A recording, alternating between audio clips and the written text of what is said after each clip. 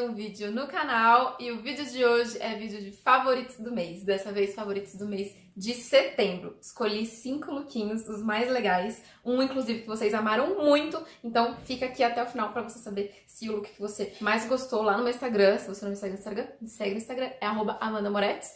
Então vê se o seu look que você mais gostou tá aparecendo aqui no vídeo. Vem comigo! Primeiro look que eu escolhi, não tem uma ordem de preferidos, apesar de que talvez o último seja um favorito, não sei. Mas não tem uma ordem de favoritos, eu estou seguindo a ordem cronológica mesmo que eu selecionei no meu Instagram.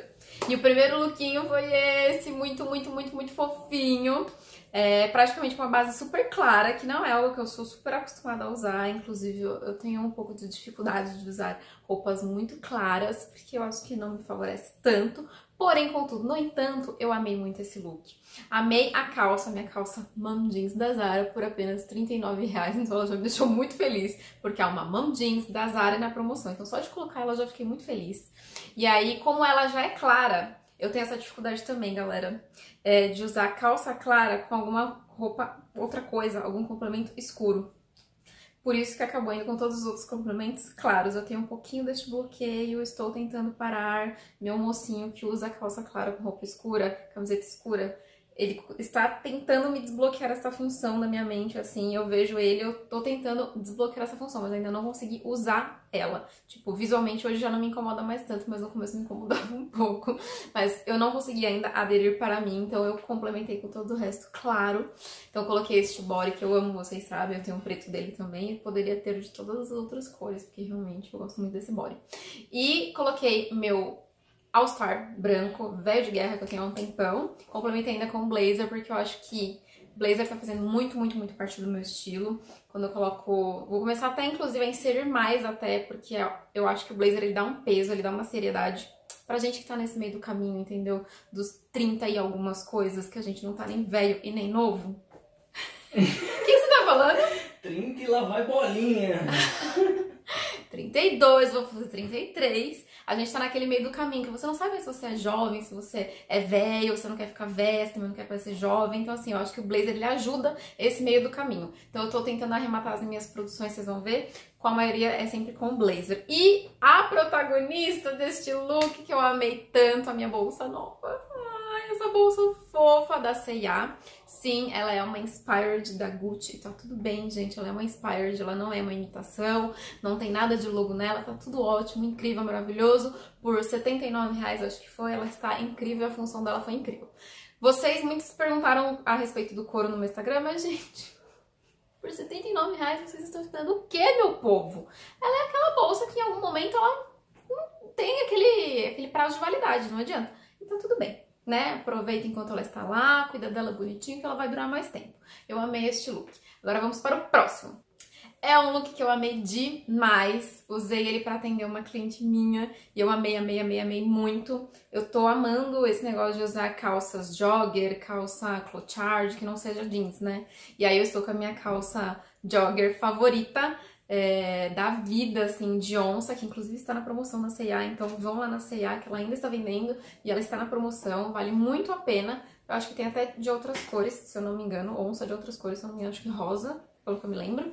E eu amei. Aí eu fiz o look nela. Então, assim, é uma dica, né? Quando você quer usar uma peça específica, eu queria usar a calça, eu montei o look em cima daquela calça. Então, eu escolhi a camiseta pra ornar com a calça, então eu coloquei uma camiseta tipo bege, né, puxando esse tom terroso da calça, com também uma animaçãozinha ali de gatinho, né, para fazer o link com a onça na, na camiseta. Coloquei meu sapatinho de véia, que eu adoro. A Vi Rocha fala de sapato de véia, né, que é aquele baixinho, salto bloco, confortável, biquinho quadrado, que eu gosto muito, bicolor, que é um clássico. Sim, agora ele tá muito em alta, mas para quem adere ao ao estilo, eu acho que ele vai ser eterno. No meu caso, eu espero que ele seja eterno, porque ele é muito queridinho, eu consigo fazer muitas produções com ele. E arrematei com o quê?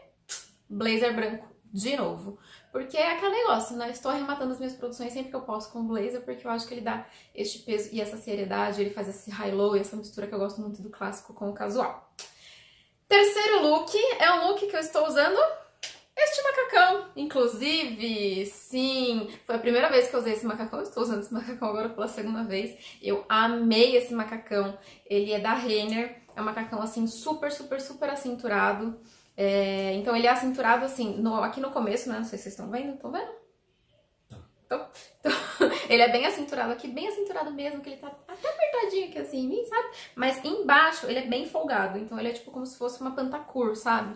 Então assim, o efeito, inclusive eu acho que era pra ser uma pantacur, mas eu com meu 1,58m não fica tão pantacur, entendeu? Ela fica um pouquinho mais, é, mais longa. Porém, contudo, entanto, eu estou acostumado com esse fato.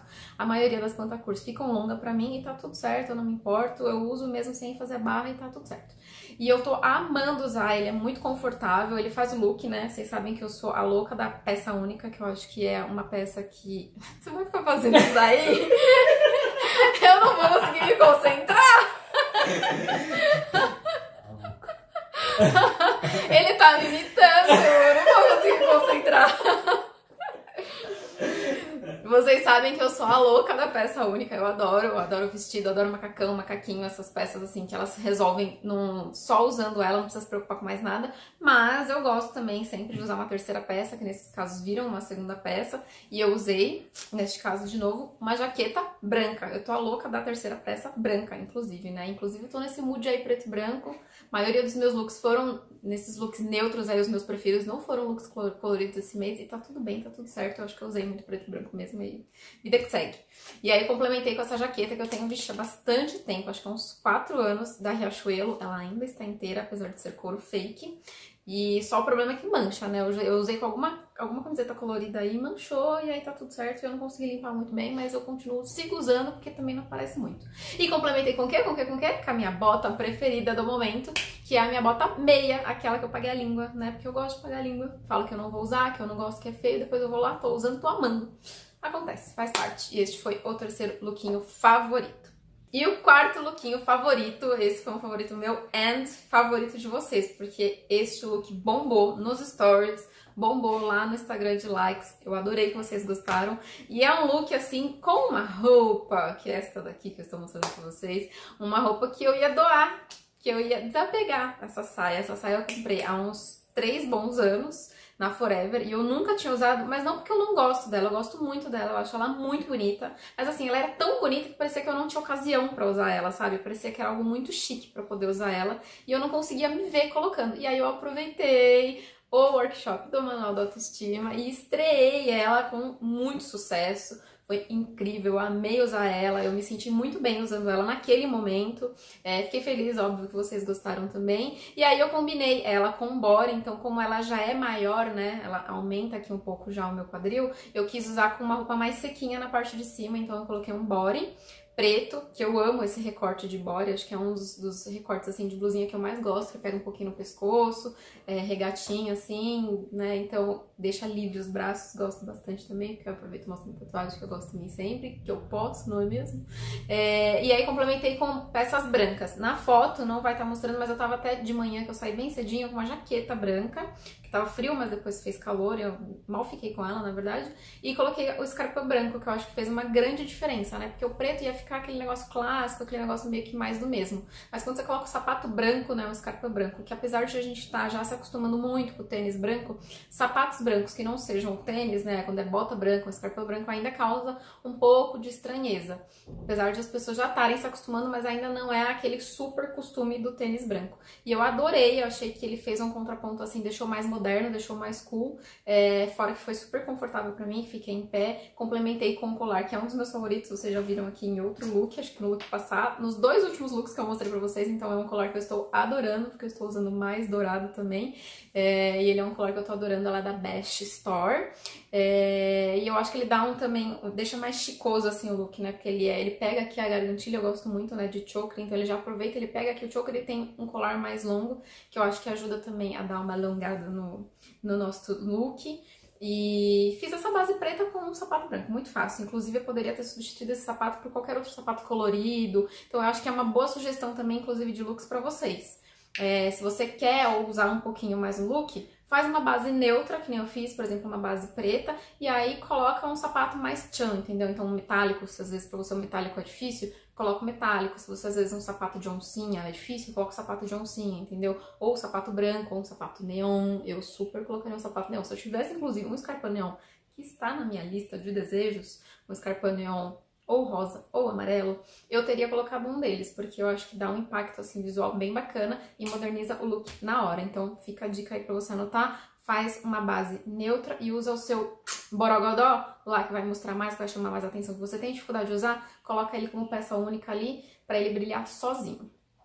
E agora, por fim, mas não menos importante, o quinto look que eu separei para mostrar para vocês. Um look super recente que eu usei na semana passada, é, que vocês gostaram também nos stories quando eu mostrei, recebi bastante mensagem de vocês, e eu amei também. E ele é aquele tipo de look que não favorece o corpo, né? Ele não marca o corpo, ele não alonga, muito pelo contrário, né? Ele te achata, é, ele não mostra suas formas, porém faz parte do meu estilo usar peças que necessariamente não vão favorecer o meu corpo, sabe? Eu acho que a gente não precisa estar tá sempre é, alongada, sempre favorecendo o corpo, sempre mostrando o corpo para jogo, sabe? Então eu gosto desses looks às vezes mais estranhos, mas que são cool, são fashion, sabe? São mais divertidos, são mais estilosos, eu gosto bastante, acho que faz parte daquilo, da imagem que eu quero passar para vocês. E este look eu me senti muito eu. Então eu fiquei muito feliz, porque todos esses looks é muito eu, né? Então é, eu tô usando cada vez mais looks muito eu. Lógico que em algum momento, neste processo da gente se encontrar, a gente dá um deslizinho, a gente às vezes tá no dia da preguiça, não quer pensar muito, mas é, sempre que eu posso, eu me esforço para usar um look que seja realmente eu, porque quando a gente sai da gente, vestido da gente mesmo, é muito libertador e é muito gostoso, você se sente muito confortável, sabe? Então nesse dia eu fui no shopping, eu gravei vários vídeos, eu me senti muito confortável e muito segura de estar vestida como eu, então eu acho que Vale o aprendizado, vale a gente fazer esse autoconhecimento, né? A consultoria de imagem ajuda nisso, mas é, se você não tem a oportunidade de fazer a consultoria, né? Tenta dar uma pesquisada, fica aqui no canal do YouTube com a gente, que sempre tem um monte de dica legal que eu sempre dou para ajudar vocês. E para ajudar mesmo você se empoderar da imagem que você quer passar e daquilo que você quer demonstrar. Eu acho que é muito legal e faz muito, muito, muito, muito bem por experiência própria, tá? É... um barulhinho.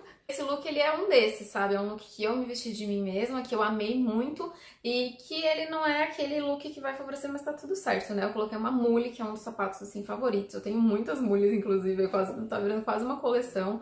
Eu coloquei uma mule branca, que é, o, de novo, o sapato branco, que é aquela história do sapato branco, nem sempre aquele convencional, então eu coloquei o sapato branco, podia ter colocado uma mule preta, mas ele seria muito básico, sabe? Então eu quis colocar a mule branca justamente pra dar essa quebrada e deixar ele mais fashionistinha, assim, né? Então eu coloquei a mule branca de bico fino, que ajuda a dar uma alongadinha, né? Já que eu não tô me favorecendo tanto, então eu peguei algumas coisas, pelo menos pra tentar dar uma alongadinha. E aí eu fiz o resto da base preta, parecido com outro look, né? Usei essa saia plissada de cirré. É, para quem gosta de usar saia plissada, para quem quer usar saia plissada, acha bonito, mas tem quadril largo e acha que não pode, nada disso, tá? Usem a saia, mas optem por saia plissada que seja mais sequinha no quadril, então que ela não vai te dar tanto volume. Então que seja um tecido mais de voal, de sedinha, um tecido mais leve, que não crie o volume de fazer assim, sabe? Igual um bolo de noiva, sabe? Vestido bolo de noiva. E aí ele vai cair bem certinho no seu quadril e aí não vai te, te aumentar o quadril ainda mais, tá? Então fiquem à vontade, pode usar, tipo esse, é uma saia mais sequinha que não aumenta o quadril, então daria super pra alguém que tem um quadril largo usar. É, eu combinei com um, uma blusa de tricô, e aí perdi todas as formas do meu corpo, mas foi o que eu falei, tá tudo certo, né? Então, porque a saia é larga, eu botei uma blusa larga por cima, mas era exatamente esse o efeito que eu queria e eu amei. Finalizei com a bolsa branca, eu recebi até muitas mensagens falando que tinha dificuldade de usar sapato, bolsa branca. Gente, sempre tem dificuldade de alguma coisa, foi a dica que eu dei anteriormente. Faz uma base é, bem básica, né? Tipo, sei lá, se o seu básico é o preto, é um azul marinho, ou se é um, um caramelo, ou se é mesmo branco, usa uma base neutra, básica para você, que você se sente confortável e faz só os complementos diferentes, diferentões, entendeu? Com aquela dificuldade. Então eu coloquei o sapato e combinando, gente. O combinando não tem como errar. Eu combinei a bolsa com o sapato, né? Tem gente que não gosta, tem gente que acha brega. Eu não acho, nem um pouco tá? Eu adoro fazer look combinandinho e adoro fazer os acessórios também combinando. Porém, também tem a questão de não combinar, né? Hoje em dia não tem mais esse negócio de não combinar. Então eu não acho que nada é brega. Sim, eu acho que o combinar não é brega, eu acho que o descombinar não é brega, eu acho que tudo é muito legal. Eu gosto de fazer os dois e neste momento eu fiz os dois, eu achei que super funcionou, gostei pra caramba da combinação da bolsa branca com o sapato branco. E esse foi o último lookinho que eu separei pra vocês. É isso, meu povo. Espero que vocês tenham gostado desse vídeo. Espero que vocês tenham gostado dos 5 looks que eu separei pra vocês. Deixem aqui embaixo nos comentários qual foi o seu look favorito. Se você me segue no Instagram, me fala se teve algum look que eu postei lá no Instagram e que não veio aqui pro vídeo que eu vou querer saber, tá bom? Se você gostou desse vídeo, não esqueça de deixar o seu like aqui embaixo e de se inscrever no canal. A gente tá com 5 vídeos na semana, é muito conteúdo bacana e você não pode perder. Até o próximo vídeo. Tchau!